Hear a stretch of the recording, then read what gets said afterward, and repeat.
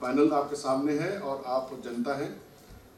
There are various issues related to A M R anti microbial resistance तो national science centre के behalf में मैं Kailash Chandra education officer आप सभी का इस आज इस सभागार में, इस ऑडिटोरियम में स्वागत करता हूँ। आपके सामने जो लोग बैठे हैं, मैं उनका एक ब्रीफ परिचय आपसे कराऊँगा। और आपका ऑडियंस का भी एक परिचय मैं अपने एक्सपर्ट्स को दूँगा ताकि उन्हें भी पता रहेगा कि आज कौन लोग उनके सामने सवाल जवाब रख रहे हैं। आ, मैं ब्रीफ इंट्रोडक्शन सभी का आपसे कराता हूँ और आपको पता भी होगा कि ये एग्जीबिशन हमारी 17 नवंबर तक चलेगी। सिक्स सितंबर को ये इनाग्रेट हुई थी। आ, आज के प्रोग्राम के लिए हमने लगभग लगभग चार पाँच हज़ार mails S M S WhatsApp messages किए। बट पता नहीं क्यों कि ये सब्जेक्ट तो सबसे ही जुड़ा हुआ है। तो ऑडिटोरियम में चाहता था कि 300 साढ़े तीन सौ लोगों की यहाँ पूरी उपस्थिति रहे but still I think they will increase by the time हमने ऑफिशियली पाँच बजे ही इसको रखा हुआ था कि आप पाँच बजे यहाँ देखेंगे। और शेड्यूल इस तरह से रहेगा कि आपको सवाल जवाब हम करेंगे और उसके बाद कुछ सोविनियर्स आपके लिए और हैं। अभी बैचेज हमने आपको दिए हैं। कुछ एजुकेशन टॉयज आपको रिसेप्शन बाहर जो हमारे एजुकेशन फायर है, वहाँ से आपको मिलेंगे। बच्चों के लिए टॉयज हैं सॉफ्ट टॉयज कुछ गेम्स हैं। वो सब आप लेके ज़रूर जाइएगा। तो फॉर्मली uh, शुरुआत करते हैं। We have the panel and I introduce one by one we have professor Aarti Kapil ji आप ऑलरेडी रिक्वेस्ट करूँगा श्री अय्यर जी से जो हमारे एजुकेशन के हेड हैं आरती कपिल जी का एक छोटे से पौधे के साथ देके फॉर्मली उनको वेलकम करेंगे। Dr. Aarti Kapil completed her MBBS from IGMC Shimla and MD from PGI MR Chandigarh in 1988. So at present, Dr. Kapil is in charge of the bacteriology laboratory in uh, Institute of Medical Sciences and member of the hospital infection control committee. Her interest in research is related to hospital acquired infections and antimicrobial resistance in Salmonella typhi. तो ये उस क्षेत्र से जुड़ी है जहाँ पर microbiology की जो रिसर्च चल रही है, आजकल लेटेस्ट क्या ट्रेंड्स हैं, कौन से बैक्टीरिया सुपर बग बन रहा है या जो भी उस पर रिसर्च है मैडम उस पर डायरेक्टली इन्वॉल्व है तो मैम आपका स्वागत है आज के इस कार्यक्रम में एक दो महीना पहले मैंने कभी इस प्रोग्राम इस चीज़ को नहीं देखा था और उस चीज़ को आज बताता हूँ कि मैंने मुर्गियों का कैसे पालन होता है और कैसे उनको एक अंडे से लेकर चूजा बनने के बाद में जो बड़ा किया जाता है और किस तरह से उनको मार्केट तक आने का जो सफ़र है, वो देखा बिल्कुल लाइव आपको शूटिंग करी तो हमारे साथ है श्री रमेश चंद्र खत्री जी। ये प्रेसिडेंट है फॉर्म्स भी हैं और पूरे इंडिया भर में जितने पोल्ट्री के से रिलेटेड सवाल जवाब होते हैं वो इन पर इन, इनके वो सीधे सीधा जुड़े हुए हैं। और ये मिनिस्ट्री और पोल्ट्री फार्मर्स के बीच का एक हब है जो उनकी प्रॉब्लम्स को आगे ले जाते हैं और सॉल्व कराते हैं। तो सर आज आप पर काफ़ी बारिश होने वाली सवाल होती है तो तैयार रहिएगा। ठीक है? एक दो सवाल मैं भी पूछूँगा आपसे सर। तो श्री रमेश चंद्र खत्री जी मैं फॉर्मली इनका इंट्रोडक्शन आपको देता हूँ he is president P F I that is poultry federation of India and uh, he's here with us today who is himself a poultry farmer and totally understands the issues which are which our farmer faces he started with a farm of 500 birds. And uh, he has all the sections of the farming, like breeding, hatching, and then making the boilers for the market.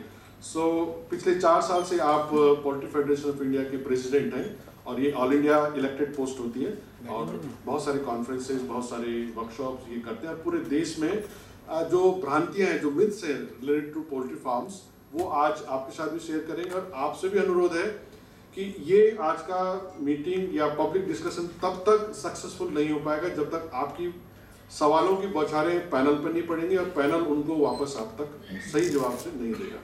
ठीक है? Ready आप सभी लोग सवाल पूछने के लिए बिल्कुल हम चाहते हैं कि आप ज़्यादा से ज़्यादा सवाल पूछें, ताकि हम इस तरह का कार्यक्रम और करा सकें। अब ये पहला कार्यक्रम है जो नेशनल साइंस सेंटर में हम लोग अभी तक तो बच्चों से रिलेटेड या जनरल पब्लिक के लिए पॉपुलर लेक्चर्स साइंस वर्कशॉप कराते हैं बट आज एक पब्लिक डिस्कशन हम लोग पहली बार करा रहे हैं।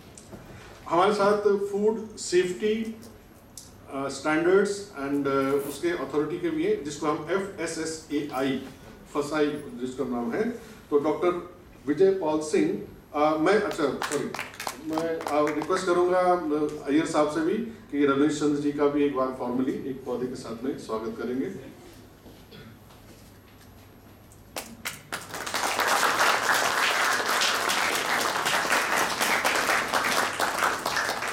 डॉक्टर विजय पाल सिंह ये F S S A I से हैं और doctor Vijay Pal Singh is a graduate in veterinary medicine post graduate in dairy husbandry and mic milk processing and doctorate in biotechnology doctor Vijay Pal Singh is at present as a deputy director risk assessment research and development in food safety and standards authority of India इनसे जब हम मिले थे तो बहुत सारी चीज़ें पता लगी कि हमारे पास में जो हम लोग खाना खाते हैं, जो मीट आ रहा है या जो चीज़ है वो उसकी हालत पूरे देश में कितनी सही है और कितनी गलत है।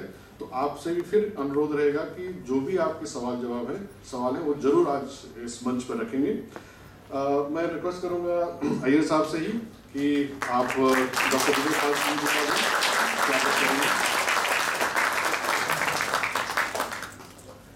एक एंटीबायोटिक अगर आप स्ट्रिप लेते हैं या कोई शेड्यूल्ड मेडिसिन लेते हैं उस पर एक लाल रंग की लाइन लगी रहती है। आप में से बहुत लोगों को शायद पता होगा कि उस लाल रंग का मतलब क्या है। या जैसे आप टूथपेस्ट लेते हैं तो उसमें एक काला रंग का हल्का सा मार्क लगा रहता है, हल्का सा ग्रीन कलर का भी लगा रहता है।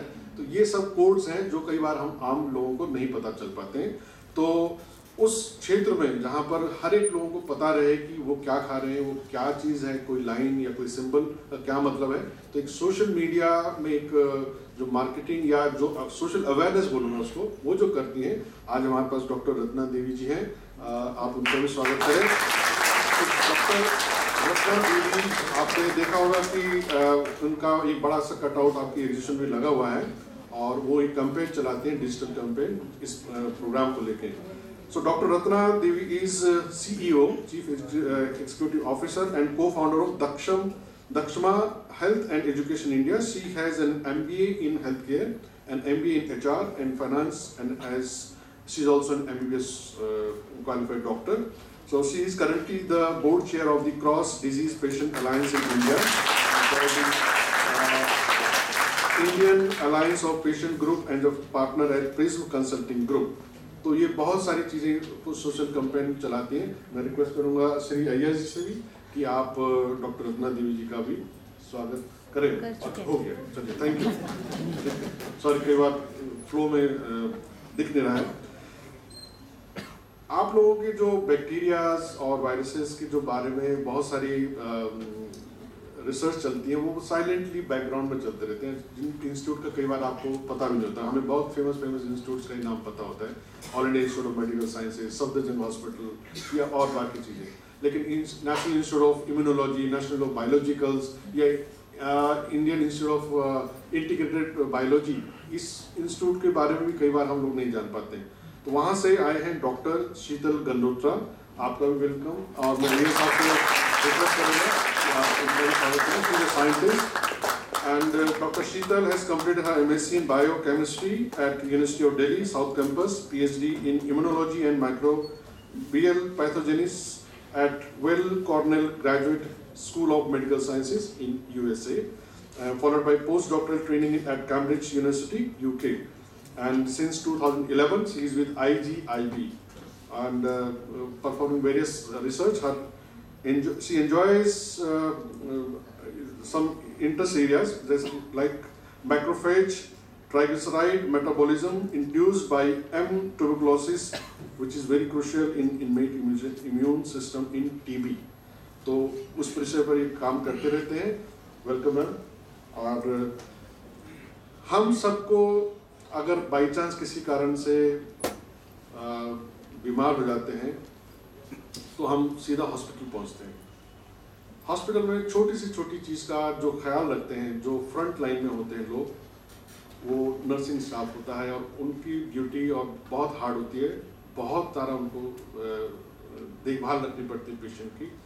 तो आज आपके सामने हमारे साथ में यहाँ पर हैं sister Jacinta Gunjiya from all India medical sciences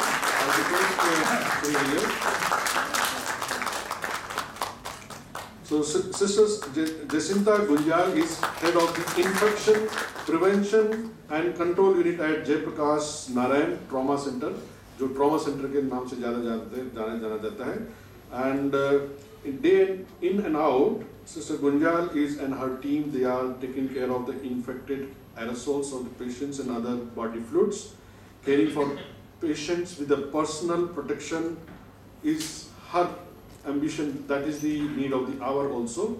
And dealing with patients is a science, and Sister Gunjal believes that healthcare science is ever changing and evidence based. बहुत रिसर्च होगी इनकी हमने फ़िल्म देखी थी अगर आप बाद में हमारे साथ रहेंगे तो एक फ़िल्म भी है इन्होंने बहुत अच्छी फ़िल्म एक बनाई है नर्सिंग स्टाफ वहीं के लोगों को लेके जहाँ पर इन्फेक्शन को रोकने के क्या क्या तरीके हैं और क्या क्या ये लोग फॉलो करते हैं और किस तरह से जो बायोमेडिकल वेस्ट होता है उसका ठीक से निदान करते हैं, ये सब चीज़ हमने वहाँ पर पहली बार देखी तो हम इन सबसे मिले हैं। तो आज बहुत अच्छा लर्नर पैनल हमारे पास में है। अब मैं रिक्वेस्ट करूँगा जो हमारे साइंस सेंटर के नेशनल साइंस सेंटर की एजुकेशन के हेड हैं, जिनके सौजन्य से, जिनके सहवार से आपको ये सब प्रोग्राम मैं आप आगे तक पहुँचा पा रहा हूँ। श्री अय्यर वैसे तो ये एमएससी एंड पीएचडी हैं इलेक्ट्रॉनिक्स में लेकिन इन्होंने human biology gallery our bodyguards और बहुत सारे ऐसे टॉपिक जो माइक्रोबायोलॉजी या बायोटेक्नोलॉजी से रिलेटेड हैं, उन पर ही ज़्यादा काम करते सर, आप इलेक्ट्रॉनिक्स शायद भूल चुके होंगे बट बायोलॉजी और माइक्रोबायोलॉजी और बायोटेक्नोलॉजी में आप एक्सपर्ट हो गए। लेक्चर्स देते हैं बहुत सारे इंस्टीट्यूट्स में तो मैं आपसे रिक्वेस्ट करूँगा कि अब जनता और पैनल आपके बीच में है। आज के इस सेशन का जब ज़्यादा से ज़्यादा फ़ायदा उठाएँ आपका पैनल आपका जो ऑडियंस का, आज का जो जो जो आप पर हमारी ज़िम्मेदारी दी है कि आप सवाल पूछेंगे ऑन बिहाफ ऑफ़ एवरीबडी जनता की तरफ़ से आप हैं और एक्सपर्ट यहाँ पर। आइए साहब thank you very much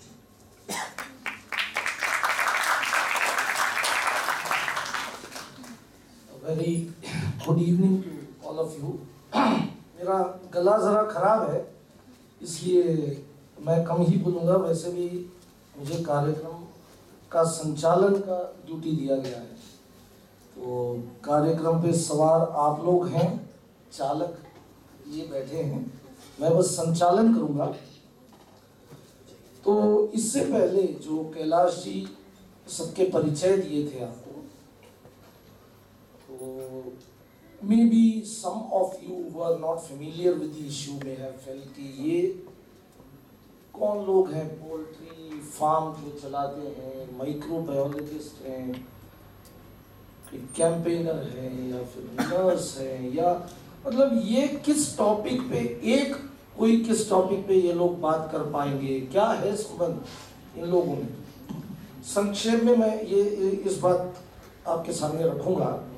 उसके बाद मंच खुला है। मैं सवाल, पहला सवाल मैं करूँगा, उसके बाद जवाब और फिर आगे चलता रहेगा।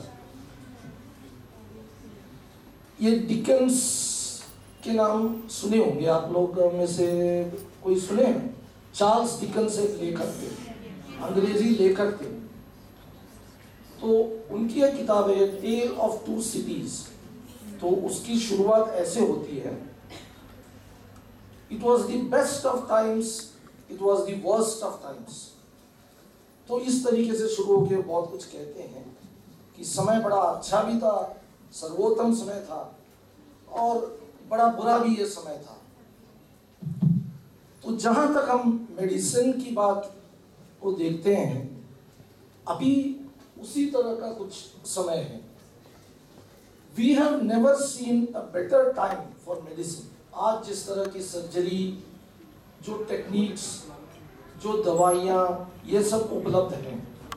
मैं गत 40 वर्षों से चश्मा पहनता था कैटरैक्ट का ऑपरेशन हुआ, एक लेंस लगाया गया। आज मैं चश्मा नहीं पहनता हूँ। करीब 20-25 साल पहले कैटरैक्ट का जिसका ऑपरेशन होता था पैनल में से कोई करेक्ट करें मुझे इफ़ आई एम रॉन्ग बड़ा मोटा चश्मा उनको लग जाता था ज़िंदगी भर के लिए, वरना कुछ वो देख ही नहीं पाते थे। मोतिया बिंद का कहीं एडवर्टाइजमेंट अखबार में आप पहले देखे होंगे 20-25 साल पहले कोई। तो वो बड़े बूढ़े होते थे जो उनके आँख नहीं दिखाई देते थे, ये मोटे कांच लगे रहते थे उनके चश्मों में। मेरा वही ऑपरेशन हुआ, आप देख रहे हैं कि मैं चश्मा, मेरा जो था, जो चालीस साल से मैं पहनता था, उतर गया। इस तरह के कितने तो सर्जिकल टेक्निक्स कितनी तो दवाइयाँ क्या क्या अभी उपलब्ध है कि करीब पचास साल पहले जो लोग जिस चीज़ से मर जाते थे, वो आजकल दो तीन दिन के इलाज में ठीक हो जाते हैं। अब इनमें से एक है एंटीबायोटिक। आप लोगों में से बहुत लोग सुने होंगे ये शब्द, एंटीबायोटिक। एंटीबायोटिक क्या है? आप में से कितने लोग जानते हैं? मुझे नहीं पता। आज के कार्यक्रम के बाद जान जाएँगे आप। एंटीबायोटिक एक मैं संक्षेप में कहूँ तो एक ऐसी चीज़ है जिसको खाने से बैक्टीरियल इन्फेक्शंस खत्म हो जाते हैं। इसको विस्तार से हमारे पैनल के जो एक्सपर्ट्स हैं बताएँगे। और आप लोग अभी भी, कभी गले में दर्द हुआ, कभी पेट में कोई प्रॉब्लम कभी कुछ हुआ, कहीं डॉक्टर के पास गए तो एक एंटीबायोटिक कोर्स प्रिस्क्राइब करते हैं डॉक्टर पाँच दिन दो दो करके ले लेना सुबह एक शाम को। ये होता है। तो उसके बाद दो तीन ही आप ले लेंगे तो ठीक हो जाएँगे, फिर आप पूरा लेते रहिए, दस टैबलेट्स ले लीजिए, ठीक हो जाएँगे पूरी तरह से। लेकिन करीब सत्तर अस्सी साल पहले एक छोटे इन्फेक्शन से कोई भी मर सकता था। बहुत पहले की बात मैं नहीं कर रहा हूँ। मैं जब पैदा हुआ तभी ठीक है एंटीबायोटिक्स थी। लेकिन मेरे पिताजी जब पैदा हुए, जो अभी भी ज़िंदा हैं, वो जब पैदा हुए, तब एंटीबायोटिक्स नहीं थी। कहीं भी नहीं दुनिया में। तो उन दिनों में लोग मर जाते थे। कोई भी छोटी सी बीमारी से लोग मर जाते थे। तो मैं किसी, मेरे मित्र एक साइंटिस्ट हैं, उनसे जब बात कर रहा था, मैं उनसे पूछ रहा था कि आजकल ये कैंसर बहुत ज़्यादा सुनने में आता है। पुराने ज़माने में बहुत लोगों को कैंसर नहीं होता था। ये क्यों? तो उनका सीधा जवाब ये था कि उन दिनों में लोग पहले ही मर जाते थे कैंसर होने से पहले। आप, कोई इन्फेक्शन होता था, लोग मर जाते थे। अब कॉलरा में बच्चा मर गया, किसी और चीज़ से मर गया और 10-20 साल के अंदर आज मर ही गया आदमी तो कैंसर के लिए समय ही कहाँ मिला? तो अभी उसके बाद एंटीबायोटिक्स आई, वो मिराकल ड्रग कहलाई है ना, अभी सब लोग कहते हैं कि कुछ मिराकल ड्रग है एंटीबायोटिक खा लो, जिस चीज़ से लोग मरते थे वो, बच जाते हैं। एक दिन में दो दिन में बच जाते हैं, कुछ भी नहीं होता है तो ये एज ऑफ़ एंटीबायोटिक्स कहलाया जाता था कुछ साल पहले तक। तो अब क्या हुआ? अब ये हुआ कि एंटीबायोटिक्स काम करना धीरे धीरे बंद कर रहे हैं। 20-25 एंटीबायोटिक्स हमारे पास है उन 20-25 एंटीबायोटिक से भी कुछ नहीं हो पा रहा। लोग जिस इन्फेक्शन से सौ साल पहले मरते थे, उस इन्फेक्शन से आज फिर मरने लगे। अब जब सर्जरी के बाद तो इन्फेक्शन होना ही होना है। अब जब इन्फेक्शन ट्रीटेबल है नहीं तो कौन सर्जरी करे? कितना, जितना भी एडवांस सर्जिकल टेक्निक्स हो, कोई फ़ायदा ही नहीं। If infection cannot be control तो इसके फैलने के बहुत तरीके हैं। मैं जैसे पहले मैं रिक्वेस्ट करूँगा प्रोफेसर आरती कपिल से ही कि मैडम हम लोग अंग्रेज़ी हिंदी मिक्स करके बोलेंगे। Madam which language are comfortable comfortable language if you can introduce this subject madam and uh, i'll ask you any questions on behalf of them. Thank you. Thank you so much and good evening. Thank you for being here. आज सुनने के लिए एक बहुत important subject है, क्योंकि हम ये देखते हैं एंटीबायोटिक रेजिस्टेंस जैसा कि नैयर साहब ने बताया। आई थिंक बहुत अच्छा इंट्रोडक्शन दिया एक कॉमन पब्लिक के पॉइंट ऑफ़ व्यू से, कि अब जो पहले बीमारियाँ थी, जो जल्दी ही इन्फेक्शन की वजह से, क्योंकि कोई दवाई नहीं थी, और ये बहुत पुरानी बात नहीं है पेनिसिलिन की डिस्कवरी और मार्केट में आना, ये 1945 और 50s में ही हुआ है। लेकिन आपने देखा होगा एग्जीबिशन में, उस टाइम में जो अलेक्जेंडर फ्लेमिंग थे, जो उसके इन्वेंटर थे और डिस्कवरर थे, जो भी बोलिए वो उन्होंने बोला था कि ये ध्यान हमें रखना पड़ेगा, ये एक ऐसी मेरेकल ड्रग तो है क्योंकि उससे वर्ल्ड वॉर टू में बहुत सारे जो डेथ्स होती थी वॉर्स में, वो एकदम ख़त्म हो गई। क्योंकि वॉर की जो वॉर रिलेटेड इंजरीज थी, वो सब ट्रीट हो जा रही थी, इन्फेक्शंस नहीं होती थी तो बचने लगे थे सारे आर्मी और फौज के लोग। लेकिन उसने तब भी ये सबको सावधान किया था ये एक ऐसी चीज़ है जो अगर आपने ज़्यादा यूज़ की, in the sense irrational use की तो बैक्टीरिया इसके अगेंस्ट रेजिस्टेंस डेवलप कर लेगा। तो उसमें थोड़ा सा बैक्टीरिया के बारे में सोचते हैं, वो भी तो एक लिविंग ऑर्गेनिज्म है। और हमारी तरह सर्वाइवल ऑफ़ द फिटेस्ट उसके लिए भी एप्लीकेबल है।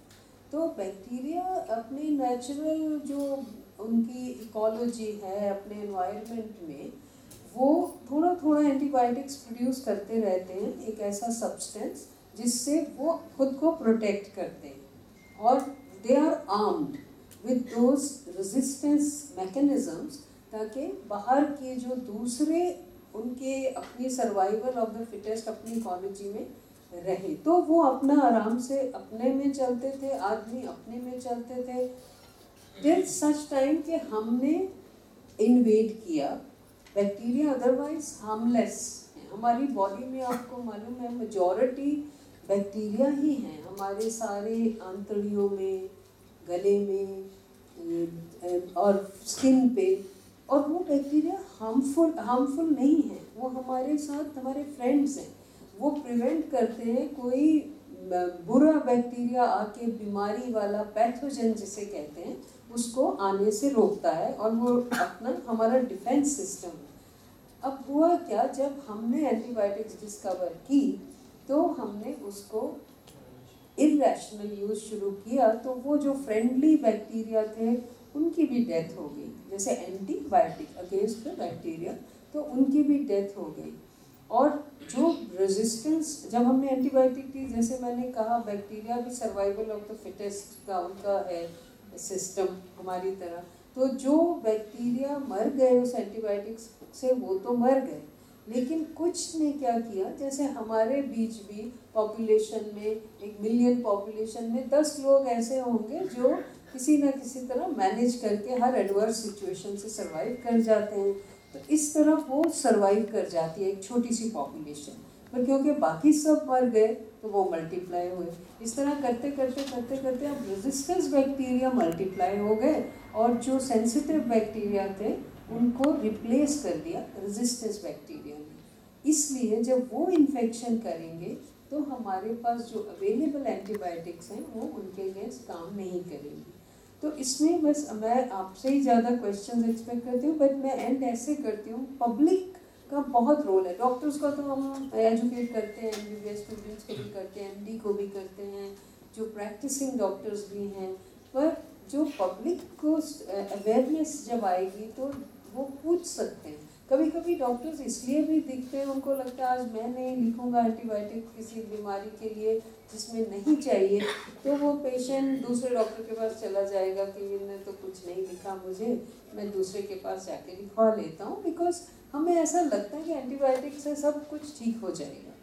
तो इसलिए पब्लिक अवेयरनेस बहुत ज़रूरी है कि आपको खुद भी पूछना चाहिए डॉक्टर से, आप एंटीबायोटिक्स लिख रहे हैं, क्या मुझे कोई बैक्टीरियल इन्फेक्शन है? क्योंकि ज़्यादातर बुखार डायरिया खांसी, ज़ुकाम वायरल फीवर से होता है, जिसके लिए एंटीबायोटिक्स का कोई रोल नहीं है। आई थिंक ऐसे तो I can keep on talking on this subject but I would rather answer your question on this thank you take questions a little later because to keep the flow continuous. Uh, Dr. Arti Kapil uh, mentioned awareness and the need for awareness, the importance of awareness. So let me bring in Dr. Ratna Devi here and I have a specific question for you. Two or three specific questions which you may consider answering. One, is there a global lack of awareness among people, especially in India, be it rural or urban? Is awareness a very, very serious issue among not just the consumers but also the practitioners? यानी कि doctors pharmacist nurses इनमें और patients इनमें क्या antibiotics के बारे में awareness की कुछ कमी है ये समझते नहीं है एंटीबायोटिक्स के बारे में? ये एक सवाल है। अगर है तो किस हद तक है? और क्या कुछ हम कर रहे हैं एक अवेयरनेस क्रिएट करने के लिए? क्योंकि एंटीबायोटिक्स अभी भी they have some relevance so we should protect them we should keep them so that they are useful तो are we doing something as a nation to create awareness among people about antibiotics.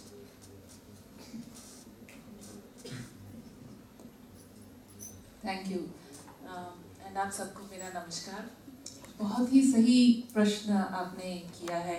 एक तो क्या इतनी जागरूकता है हम सब में? चाहे वो पेशेंट हो चाहे वो डॉक्टर हो तो मैडम ने कहा कि जब पेशेंट जाते हैं डॉक्टर के पास में और डॉक्टर उनको कोई एंटीबायोटिक लिख के देते हैं तो उन्हें पूछना चाहिए कि क्या ये मुझे ज़रूरी है लेना। लेकिन मेरा तो ये प्रश्न है कि कितने ऐसे लोग हैं जो डॉक्टर के पास गए बिना ही एंटीबायोटिक्स लेते हैं? जब उनको सर्दी जुकाम होता है या कोई तकलीफ़ होती है, वो सीधे फार्मासिस्ट के पास जाते हैं और कहते हैं, मुझे ये प्रॉब्लम है, मुझे बुखार है, अब दो दिन की दवाई दे दो। और वो अगर चार गोली देता है तो वो चार गोली लेते हैं। वो किस तरह से खानी है, ये भी नहीं पूछते हैं। जब तक उन्हें बुखार है या कोई तकलीफ़ है, वो दवाई लेते हैं। और अगर वो काम कर गया तो बहुत बढ़िया। नहीं काम किया तो दो दिन बाद वापस उसी फार्मासिस्ट के पास जाएँगे। बोलेंगे, भैया, ये तो काम नहीं किया, अब इससे थोड़ी भारी दवाई दे दो। और उससे भारी वाली दवाई फिर वो फार्मासिस्ट उन्हें देता है और वो लेके आ जाते हैं और उसे खाते हैं। अगर ठीक हो गया तो बहुत अच्छी बात, नहीं ठीक हुआ तब जाके वो डॉक्टर के पास पहुँचते या हॉस्पिटल जाते हैं। तो आप सब में से कितने ऐसे लोग हैं जिन्हों जिनको ये कहानी बहुत सच्ची लग रही है? अब बताइए।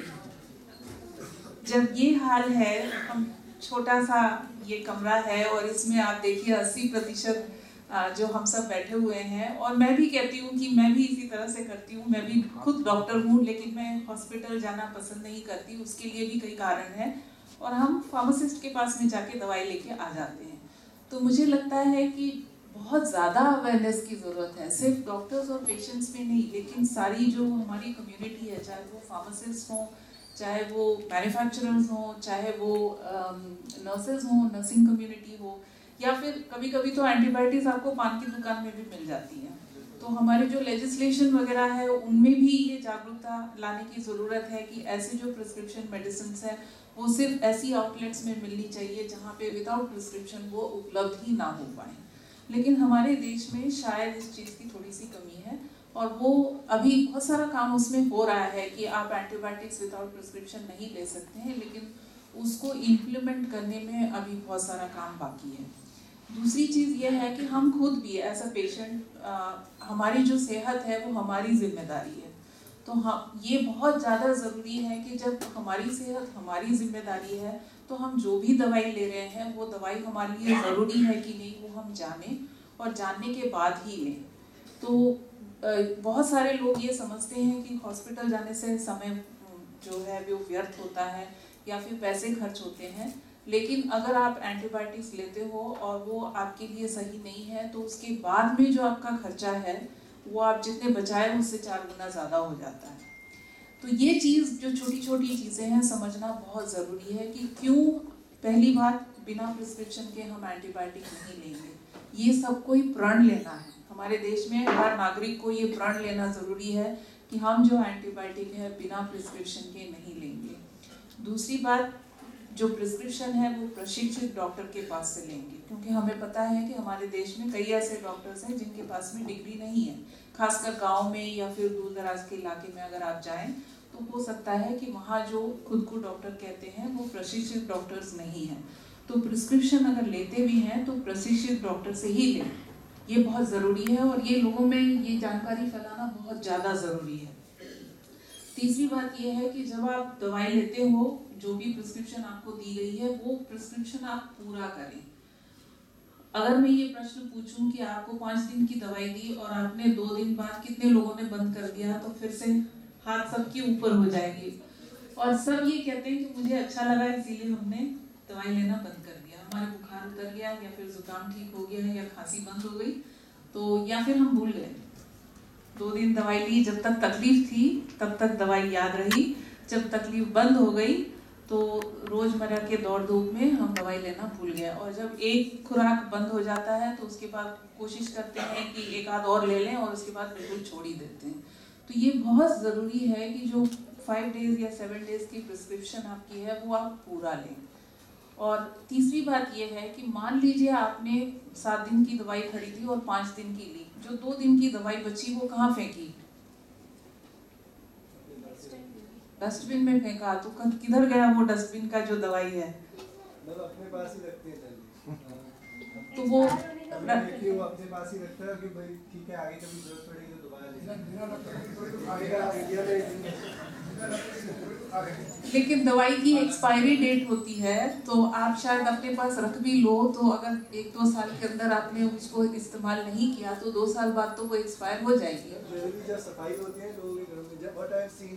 जनरली जब सफ़ाई होती लोगों के घरों में जब फैमिली से कई में जाता हूँ देखा गया कि पूछा गया कि दवाई अरे वो एक्सपायर हो गई पता चला कि चार महीने छः महीने आगे हो गए तो अरे ये चलो ठीक है अपना फेंकते हैं। तो जल्दी they log it out and I guess मेरी बात आ रही है। सबको मुझे तो आ रही है सबको सुनाई चाहिए। तो बेसिकली मैम मैं my name is Vikas I am nutrition and fitness consultant so ये देखा गया है कि जब भी uh, मैंने क्लाइंट के विज़िट किया तो जनरली उनका ये होता है कि दवाइयाँ ले रहे हैं अच्छा दवाइयाँ हैं कौन सी तो पूरा एक क्लॉक उठा कर लाएँगे ये दवाइयाँ हैं। अब उसमें से आधी स्ट्रिप्स कटी हुई है कुछ पता ही नहीं है उसमें दवाई पे नाम किसका है। इवन पैरासीटामोल बोल बोल के लोग एंटीबायोटिक्स खाने में खाए हैं कई बार। तो मैंने उनको कई बार रोका भी कि ये मत खाओ ये तो बेकार दवाई है ये मत अभी लो क्योंकि ये अभी इस पर एक्सपायरी भी नहीं है। और इस पर पता भी नहीं कि किस चीज़ की दवाई है। क्योंकि कई बार क्या होता है केमिस्ट से लेके आता है केमिस्ट जल्दी क्या करते हैं अपने पैसे बचाने स्ट्रिप में जहाँ पर एक्सपायरी डेट और पैसा लिखा होता है उसको बचाने के चक्कर में वो पूरा नाम काट देता है। तो सिप्रोफ्लेक्सिन लेनी है या सिपैक्सिन लेनी है वो लेते हुए क्या करता है वो काट देता है। तो अब पता नहीं है कि ये दवाई किस लिए है क्योंकि वो लॉकडाउन हो, चुकी होती है कितनी दवाइयाँ हैं। तो एक प्रॉब्लम ये भी हमारे बीच में है। हाँ तो बेस्ट बेस्ट सोल्यूशन क्या है? क्योंकि बहुत सारे लोगों का सवाल है कि दवाइयाँ बच जाती हैं तो उसका क्या बताएँ। उसको सही तरीके से डिस्पोज करना बहुत ज़रूरी है। और वो हमारे जो डस्टबिन आजकल तो वेस्ट सेग्रीगेशन का भी स्वच्छ भारत के अंतर्गत काफ़ी चल रहा है। और उसमें अगर आप देखो तो जो हैजार्डस वेस्ट है उसको अलग करना पड़ता है जो वेट वेस्ट है उसको अलग करना पड़ता है और ड्राई वेस्ट को अलग करना पड़ता है। अब जहाँ सोसाइटीज़ हैं, वहाँ पे ये जो सिस्टम है, वो थोड़ा बहुत काम कर रहा है। लेकिन हमारा पूरा भारत का अगर हम दृश्य देखें तो कई जगह ये वेस्ट डिस्पोजल का सिस्टम अभी सही तरीके से लागू नहीं हुआ है। तो धीरे धीरे मेरे ख्याल से ये भी जैसे जैसे लेजिस्लेशन आता जाएगा, तब हो जाएगा। तो इसकी जो डिस्पोजल सिस्टम है, वो सही तरीके से करना है। इसको लैंडफिल में या बाहर ऐसे ही फेंकना नहीं चाहिए, क्योंकि उससे भी एंटीबायोटिक रेजिस्टेंस बहुत ज़्यादा बढ़ता है। तो जो आपका प्रश्न है, उसमें पहला तो पेशेंट्स के बारे में अवेयरनेस तो बहुत ज़्यादा ज़रूरी है। और जो प्रोवाइडर्स हैं, जो हेल्थ केयर प्रोवाइडर्स हैं, वो भी क्योंकि वो प्रेशर में रहते हैं, कई बार इसलिए क्योंकि पेशेंट ही डिमांड करता है और उस डिमांड को पूरा करने के लिए वो एंटीबायोटिक ज़रूरी ना भी हो तो लिखते हैं। और कई बार इसलिए क्योंकि उनको प्रैक्टिस में रिजल्ट्स दिखाने हैं। तो अगर आपका पेशेंट आपके पास आता है और आप कहते हो कि नहीं, आपकी जो जुकाम है, वो आप कुछ भी ना लो तो भी पाँच दिन में ख़त्म हो जाएगा। तो वो पेशेंट आपके पास दोबारा आएगा नहीं। तो आपका प्रैक्टिस क्योंकि आपको जारी रखना है आप एंटीबायोटिक्स हायर लेवल का लिखते हो जो गलत है। और ये फिजिशियंस में भी बहुत सारी अवेयरनेस एक्टिविटीज़ अब हो रही हैं कि रैशनल प्रिस्क्रिप्शन किसे कहा जाता है और कैसे करना चाहिए। लेकिन उसके लिए भी बहुत ज़्यादा काम की ज़रूरत है। Thank you thank you ma'am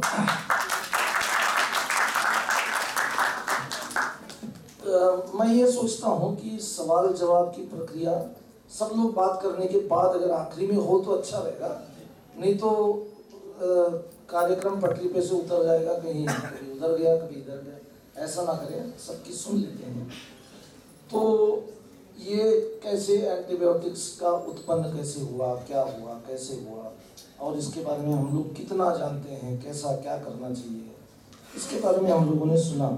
अभी मैडम से मैं जानना चाहूँगा कि एक्चुअली ये है क्या? What is this antibiotic resistance and what are the mechanisms यहाँ कोई कोई देर में भी मेडिकल स्टूडेंट्स या देर में भी students of science medical students biotechnology medical students students of biotechnology students of biology है ना? तो दे में भी इंटरेस्टेड इन नोइंग ये मतलब कैसे अचानक जो out develop like these are weapons against bacteria है ना? If there is a weapon against me a bullet is develop which will kill me will develop resistance against bullets I don't normally how do bacteria develop can you elaborate a bit on the mechanism Hindi अंग्रेज़ी में आप मिला सकते हैं और सवाल जवाब आखिरी के लिए प्लीज़ तो इसको हम समझने के लिए थोड़ा बैक्टीरिया बन के देखते हैं। आपके ऊपर कोई कुछ फेंकता है तो आपका फ़र्स्ट रिस्पॉन्स क्या होता है? हाथ आगे कर देंगे, रुक जाए। नहीं तो वापस फेंक देंगे। बैक्टीरिया भी वैसे ही करते हैं। या तो हम अगर बैक्टीरिया है तो बैक्टीरिया का जो मेम्ब्रेन होता है, जिसके थ्रू एंटीबायोटिक आ रहा है, वो मेम्ब्रेन ही अगर हम चेंज कर दें, ताकि एंटीबायोटिक अंदर ना आ पाए। एक ये तरीका है। दूसरा तरीका ये है कि हम एक गेट बना दें। आने दो जो आ रहा है हम वापस फेंकेंगे। तो ये एक पंप मैकेनिज्म होता है कि जितना भी मॉलिक्यूल आया वो हम रिटेन नहीं करेंगे क्योंकि हमने एक पंप एक्सप्रेस कर दिया है एक पंप बना दिया है अपने मेम्ब्रेन में जिससे कि ये मॉलिक्यूल बाहर चला जाए। और भी मैकेनिज्म है जैसे कि अगर मान लीजिए मैं एक अ, बहुत ही तेज़ी से बढ़ने वाला बैक्टीरिया हूँ और जो एंटीबायोटिक है मेरे इस तेज़ी से बढ़ने वाले मैकेनिज्म को टारगेट करता है, ताकि मैं तेज़ी से ना बढ़ पाऊँ। मेरे लिए क्या बेहतर है? मैं चुपचाप रहूँ, ज़्यादा एक्टिविटी ना दिखाऊँ। जो मैकेनिज्म है मेरा सर्वाइव करने का ग्रो करने का, अगर मैं वही चेंज कर दूँ तो ऑब्वियसली एंटीबायोटिक मेरे पे काम नहीं करेगा। ये एक कॉन्सेप्ट है परसिस्टेंस कहते हैं जिसको। और इसके अगेंस्ट बहुत सारी रिसर्च भी हो रही है। बहुत सारी रिसर्च ये भी दिखा रही है कि ऐसा नहीं है कि हर एक एंटीबायोटिक के लिए एक ही मैकेनिज्म हो या फिर एक एंटीबायोटिक का एक ही मैकेनिज्म है। जैसे कि अगर आपने स्ट्रेप्टोमाइसिन लिया या कोई और एंटीबायोटिक लिया, जो प्रोटीन्स बनाने की प्रक्रिया को रोक देता है बैक्टीरिया में अगर आप उसको बहुत हाई कॉन्सेंट्रेशन पे दे रहे हैं बैक्टीरिया को तो बैक्टीरिया का एक मैकेनिज्म है कि जो उसका टारगेट है, उसको ही चेंज कर दिया जाए। ताकि ये एंटीबायोटिक उसको बाइंड ना कर सके और काम ना करे। एक और तरीका है जो कि कम एंटीबायोटिक डोजेज पे भी काम करता है, जिससे क्या होता है कि मान लीजिए कि आपने एंटीबायोटिक पूरा नहीं लिया, या फिर आपके पानी में, आपके खाने पीने में low level of antibiotic exposure आपको हमेशा मिल रहा है थ्रू द एनवायरनमेंट उससे ये भी हो सकता है कि कुछ और प्रक्रियाएँ बैक्टीरिया में स्टार्ट हो जाएँ। जो कि बहुत डिफरेंट है उसके हाई डोज वाले मैकेनिज्म से उससे ये भी हो सकता है कि मान लीजिए बैक्टीरिया को आपने एक्सपोज किया let's say one tenth of the concentration जो नॉर्मली जिससे वो उसको किल किया जाता है, पर आपने उसको एक लंबे टाइम के लिए एक्सपोज किया। उससे बैक्टीरिया ऐसे कई सारे मैकेनिज्म एक साथ बना सकता है, जिससे कि अब वो 10 गुना ज़्यादा एंटीबायोटिक कॉन्सेंट्रेशन को भी बीट कर सकता है। तो ये ये साइंस ये दिखा रही है हमें कि कितना हैजर्डस है of having low level exposure to antibiotics in our environment through our food through our water so there are multiple mechanisms and bacteria are way smarter than we are okay so and they they grow faster तो उनमें ये क्षमता भी है कि वो जल्दी उसको बीट भी कर सकें। हम जो भी करें उसको जल्दी से बीट भी कर सकें। Madam, on behalf of the audience, uh, when uh, doctor was talking to me, when she was addressing us, she said that we evolved together, bacteria and human beings, we all evolved together.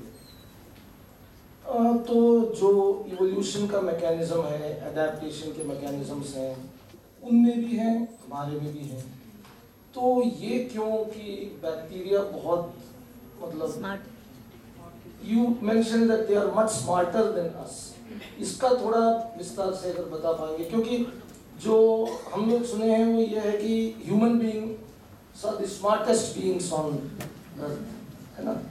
तो अभी ये सुनने को मिल रहा है कि bacteria are the smartest और दोनों साथ साथ इवॉल्व हुए तो वो कैसे इतना मतलब जल्दी इवॉल्व हो गए और हम इवॉल्व नहीं हो पाए?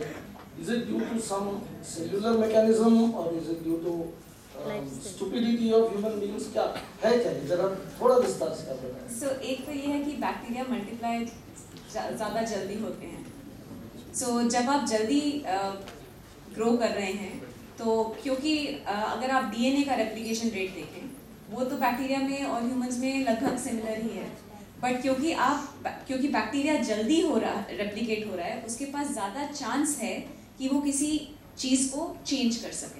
सो so, ये जो रेजिस्टेंस मैकेनिज्म मैं बता रही थी ये मोस्ट ऑफ़ द टाइम्स ये डीएनए से इनकोड होते हैं। मतलब बैक्टीरिया ने अपना डीएनए को चेंज कर दिया उससे एक मॉडिफाइड प्रोडक्ट बना जिससे कि रेजिस्टेंस डेवलप हुआ। तो अगर रेप्लीकेशन ही फास्टर है तो chance of becoming resistant to anything that is incoming is also higher so first is this secondly हम बैक्टीरिया को अगर यूनिसेलुलर ना माने और मल्टी सेलुलर माने इनफैक्ट बैक्टीरिया ऐसा नहीं है कि जब हम कार्टून बनाते हैं तो हम एक रॉड शेप या एक सर्कल स्फेरिकल या एक कॉमा शेप बैक्टीरिया बनाते हैं. बट रियलिटी में बैक्टीरिया यूनिसेलुलर नहीं होते. इनफैक्ट वो अपने और बाकी और माइक्रो ऑर्गेनिजम्स के साथ